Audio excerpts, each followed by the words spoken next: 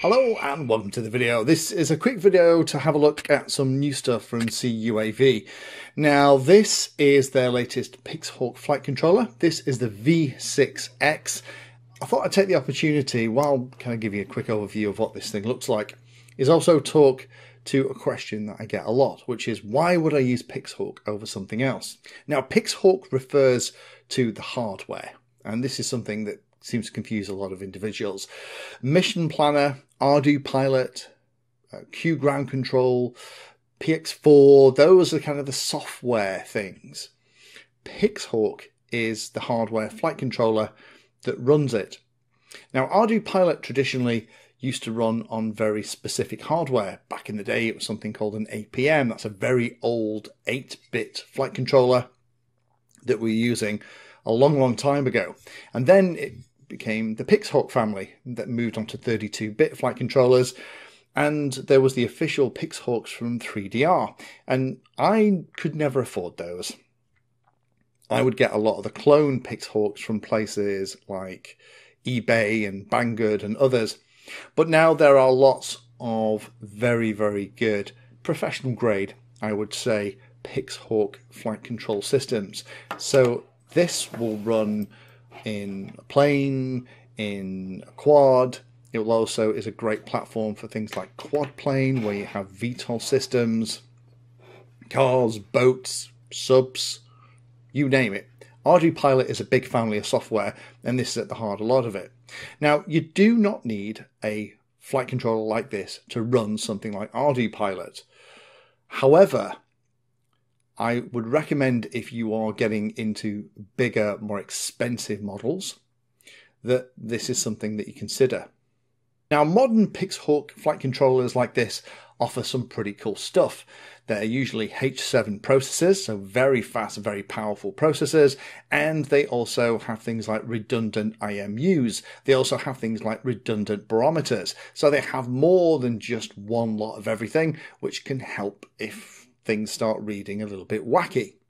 They also have things like CAN bus support. CAN bus is not new. It runs around lots of automobiles these days and lots of cars. So it's a very, very robust system and it allows you to dramatically reduce the amount of cables and wires running around your UAV. It even has things inside like a little heating element. So the actual flight controller itself is inside this little silver box and this is the carrier board. The carrier board is the one with all the connections on in here, there's even a little heating unit. Why is that important?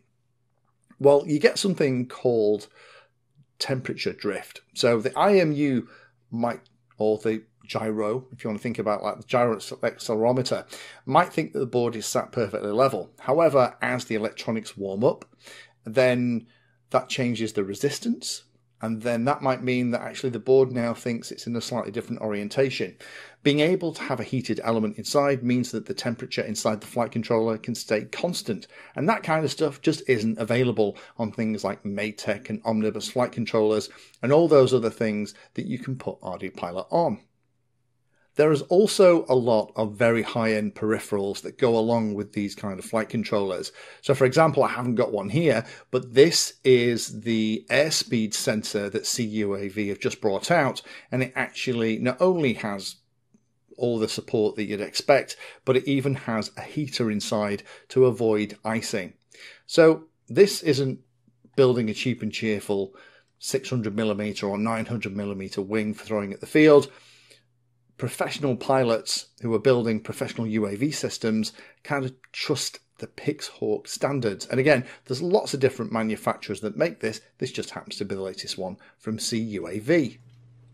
Now, coupled with the power of ArduPilot or PX4 software, these Pixhawk flight controllers can give the most solid, reliable flight experience. I've not flown anything here that works as well on planes or multirotors as a well set up ArduPilot setup on something like a Pixhawk.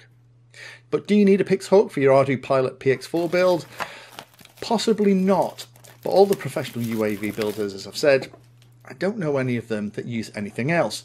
They are a little bit more expensive than a Matek Wing flight controller setup. I've done one uh, series on the channel already where I set up ArduPilot on a Matek Wing and an Omnibus, so that's absolutely an option.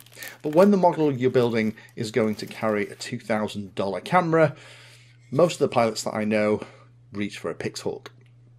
So the headlines for this new V6X from CUAV are this one has that H7 double precision floating point arithmetic unit and Cortex M3 processor, basically a lot of horsepower in the CPU, has independent bus and power supplies, three redundant IMUs, it also has the IMU temperature factory pre-calibration technology, dual redundant barometer design, and 16 PWM servo outputs. And the power outputs on most of the ports are limited to about 1.5 amps. So that means there's an awful lot of horsepower in here, but there's an awful lot of options for pinouts as well. And in very large models where you may have geared doors, you may have systems to descend a camera for mapping and things like that, you have loads and loads of options in here to plug everything in and power it. Again, when you're using this in bigger models, I wouldn't power it all directly from the Pixhawk. I'd probably use a nice chunky auxiliary power supply, something like a 10 amp battery eliminator circuit for things like all your servos. The other part of the technology I've got here is this GPS. Now, this is their new Neo 3 GPS. The headlines here are it supports the Beidou, I'm not sure if that's how you say it right, Galileo and GLONASS as well as American GPS satellites. It has a compass in here, uh, obviously flight controller status light, a buzzer, and a safety switch is all in one here. The really nice thing about this is the cold start for this is rated only 23 seconds. So even if you haven't flown the model for ages, you're not waiting for six, seven, eight minutes for it to do a lock.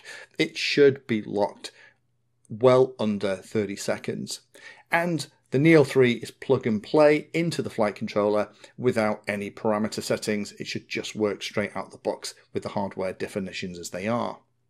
So thought while I had this stuff in, I thought I'd make a quick video, show you what this latest stuff from CUAV looks like. Again, links down below, but hopefully it's a little bit more obvious uh, why you would maybe choose something like this Pixhawk system or one of the others that are available over uh, something like a Matek or an Omnibus. A lot of it is down to the high-end processor the redundant IMUs, the redundant barometers, and things like the heating on here as well.